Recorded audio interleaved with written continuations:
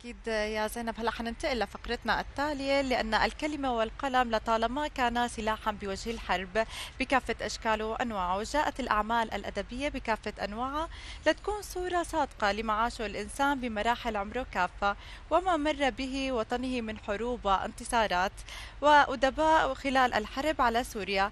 دور بنشر الفرح عكس الواقع وتجديده والتطلع لحياة أكيد أفضل. أكيد بدرية الإبراهيم كاتبة سورية استطاعت بقلمها أن تثبت تفوق المرأة السورية وطبعا الكاتبة وهي لديها 26 ديوان شعري محكي وأربع دواوين أخرى من الشعر الفصيح إضافة لرواية وكتابة لعدد من الأغاني. رح نرحب فيها يسعد صباحك وأهلا وسهلا فيكي صباح الخير.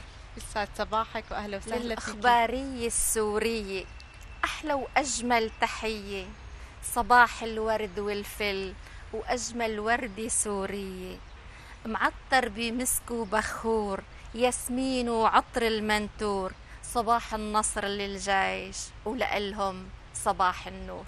أكيد صباحك طبعا صباحك. كونهم هم العنصر الأساسي والفعال في المجتمع ونحن كلنا نحب نوجه ونوجه لهم دائما التحية. أكيد بنوجه تحية كبيرة لهم تمام. يسعد صباحك بالبداية. 26 ديوان آه، زجل خلينا نحكي عن بدايتك بالكتابة. مناصرة للمرأة بشكل كتير كبير. تمام. خلينا نحكي شو المميز بكتاباتك وأميز الشيء بالنسبة لإلك. إيه، طبعا كما ذكرت سابقا أن الشعر يجب أن يكون شامل يتناول جميع المواضيع بمختلف آه، الأساليب. بالنسبة لشعري أنا آه، يمكن ما تركت موضوع تناولتي. تناولته ضمن القصائد وخاصة في ضمن 26 ديوان أكيد رح يكون شامل لكل المواضيع. من أهمها كانت المرأة والتغزل بالمرأة آه، وصف المرأة بشكل آه، دقيق شوي كذلك الرجل الطبيعة المواضيع الاجتماعية والمناسبات القومية كمان. تمام. نعم. لكن خبرينا كمان ليه الشعر المحكي؟ يعني شو أهميته بالنسبة إلك؟ كيف بلشتي فيه للشعر المحكي؟ نحن بنعرف هذا النوع من الشعر شعر كتير شعبي وكتير قريب من العالم وكتير صعب. آه، تمام الشعر المحكي آه، طبعا في شعراء لكن لم بتصور ما حدا كان يوثق هيدا النوع من الشعر إلا بعض الأغاني نسميها الآن بالتراث الأغاني التراثية. توجهت لهذا النوع من الشعر لأنه يتناول جميع فئات الشرائح المجتمع. يمكن للطفل أن يحفظ الأغنية إذا كانت مغناة باللغة العامية أو الزجلية للكبار كانت رفيق الفلاح إلى الحق الرفيق المقاتل إلى جبهات القتال آه، في الأعراس في حتى في الأتراح يستعمل هذا النوع من الشعر نعم. لذلك توجهت عليه حب بهذا الشعر والموهبة موجودة ونادر كمان أحيانا يعني نحن عندنا شعراء لكن ما بارزين أو ما باينين بالشكل الكافي. لذلك أنا توجهت لتدوين وتوثيق جميع قصائدي حتى حصلت على 26 ديوان بهذا النوع من الشعر. خلينا نحكي عن مكانة شعر الزجل اليوم بعالمنا اليوم. هل هو يعني هل هو انتشر بشكل كتير كبير؟ أخذ حقه ولا لا؟ شو بينقصه؟ ليكون شو الدعم اللي بينقصه شعر الزجل برأيك؟ آه، طبعا الشعر الزجر وخاصة في سوريا آه، مو اخذ مو آخذ حقه تماما. آه، لأنه مثل ما حكينا أنه بيتناول جميع الشرائح المجتمع هو في متناول الجميع يفهمه الجميع ولكن بالنسبة إنه آخذ حقه في في سوريا ما أخذ حقه. مرت فترة من الأوقات كانوا حارمين مثلا الشعراء الزجلي يساووا فعاليات ثقافية وخاصة في المراكز الثقافية لكن رجع الآن. أما ياخذ حقه بشكل كامل لا. نحن بنلاحظ إذا أخذنا مثال هلأ لبنان نوع الزجل بالمحطات اللبنانية بيعطيها رونق جميل بيعطيها جمالية وسحر وجذب للقناة اللي بتكون عم بتساوي هيدا النوع من الشعر الزجلي. أكيد خلينا ننجذب هلأ ونسمع شيء من حضرتك. أكيد نحن ولكل المشاهدين اللي عم يتابعونا. تمام.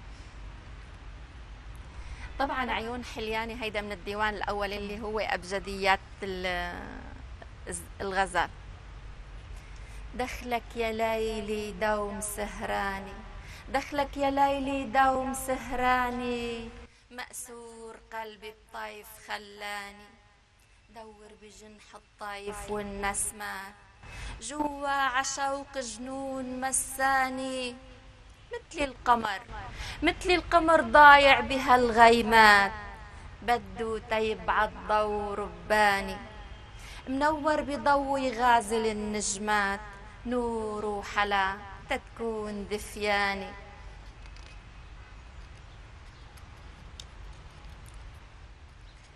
يرش الندي تا يغسل الوردات يرش الندي تا يغسل الوردات. يروي ورق قلب ورقات دبلاني فيق معي أحلامنا حكايات فيها سحر بعيون حلياني. نغني سوا نغني سوا ونتبادل الهمسات نسر وشعر علسان فناني. زهور الربا ومن حولها فراشات وحدي أنا هالمرج عشقاني. من نار حبه ولعت جمرات من نار حبه ولعت جمرات تحرق غرامي وكون درياني. يا رايت يا ريت فيني ولع الشمعات تخبر حبيبي اش قد والهاني مغروم قلبي مغروم قلبي مسهر النهدات. ورموش غمزي فيه والعاني اسأل مجرب اسأل مجرب عطش البسمات. عشفاف شهد بتكون عطشاني علوا يجيني بوح بالكلمات علوا يجيني بوح بالكلمات ومثل النسيم وشوش غناني. رغم التعب رغم التعب تصحى معه القبلات بلسم أريج شفاه فرحاني يسعد هناي يبلل الوجنات. بخدي أنا جمرات شعلاني وهيك الليالي تعد سهريات وأهرب معك من يوم للتاني.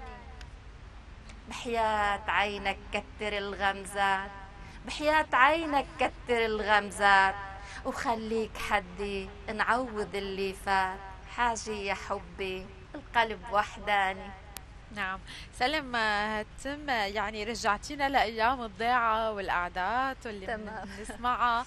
آه، شو هو الشيء اللي بيستحضر هي الحالة الشعرية؟ إن كان الشعر المحكي أو الشعر. آه، العادي. خلينا نحكي آه، كيف الأجواء اللي بتطلع معك فيها هيك آه، قصائد؟ آه، بالدرجة الأولى عزيزتي هو آه، وجود الموهبة لدى الشخص أو الشاعر. آه، هذه الموهبة يمكن يغذيها الطبيعة يمكن شخص يمكن حالة اجتماعية كما حكينا. حدا من أسرتك آه، كان بيحب الزجل أو ال- أو كنت تسمعيهم حتى هيك حبيتيه؟ بالعائلة ما عنا ب الشعراء بس لكن بأي عمر بلشتي إنك تحبي الزجل؟ عزيزتي بلشت ب- بمرحلة يعني متأخرة. طبعا أنا كنت معلمة وبالتعليم وكنت مشغولة كمان بالأولاد وبالبيت. آه، لكن آه، عن من مدة يمكن شي عشر سنين بلشت وثق هذا بكتب أنا من زمان لكن بشكل توثيقها وأخذ الموافقة عليها على الطباعة والتداول. هيدي بلشت بال 2010 طبعا آه، بعد ما نصحوني الشعراء وشافوا كتاباتي قالوا لي لازم أنت توثقي هدول ال- القصائد ويكون آه، لهم مجموعات شعرية طبعا ومن هالنا ومن طبعا ومن هالنا ومن هالنقطه هي أنا بدأت أوثق هيدي ال- القصائد بشكل دواوي. أكيد طيب كمان في أغاني كمان آه، عم إيه. تكتبيها آه، يعني حدا غنى شي أغنية كتبتيها أو أو, إيه. أو في هيك شيء أنت كتبتيه عن الوطن خاصة إنه بتعرفي نحن هلأ كل شيء يمكن كل حدا عنده رسالة حابب. يوصلها لكل العالم من خلال أي شيء موهوب فيه إن كان فن موسيقى أعلام بمكان شغله طبعا بالنسبة للأغنية أنا كاتبة أغنية كمان وعندي مجموعة لا يستهان بها من الأغاني إيه، لكن وخاصة بها الظروف هون بسوريا. عندي مجموعة من الأغاني طبعا عندي أغاني ملحنة بالجزائر مطرب جزائري باللهجة السورية لحنها آه، في عندي كمان بمصر أغاني كمان تلحن. كمان في بسوريا ال- الملحن والمطرب ساهر الأسعد عنده مجموعة من الأغاني. آه، كلها ملحنة وجاهزة للتنفيذ يعني تمام. يغنوها الشو... يغنوها المطربين. لكن لسه ما هيك واتاني الحظ مثل ما بيقولوا وتغنت طبعا أنا كاتبة كمان اوبريت لسوريا باسم المحافظات السورية. وبتمنى تتبنى هذه الأوبريت وتغنى باسم المحافظات السورية. أكيد. الزجل عمود الشعر الشعبي. تمام. آه، شو رأيك أنت بهذا الكلام؟ وقديش خلينا نحكي عن دور الشعر الزجل في تراثنا بجميع القضايا يعني هي بجميع القضايا بتلامسنا كلياتنا بالأفراح والأحزان تمام. والأعراس وكل شيء. خلينا نحكي عن دوره الأساسي والمهم بتراثنا.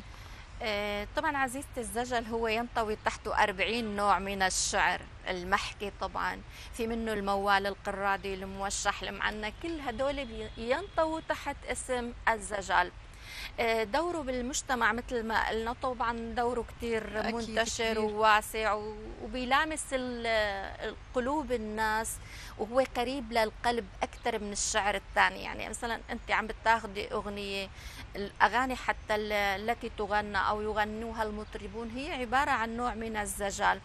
لذلك دوره فعال. الأغنية يمكن توصل تنتشر لمناطق بعيدة لكل العالم. تمام. إذا كانت هادفة آه، طبعا تصل بسرعة أكثر نعم. من الشاعر أو أي شخص ثاني. نعم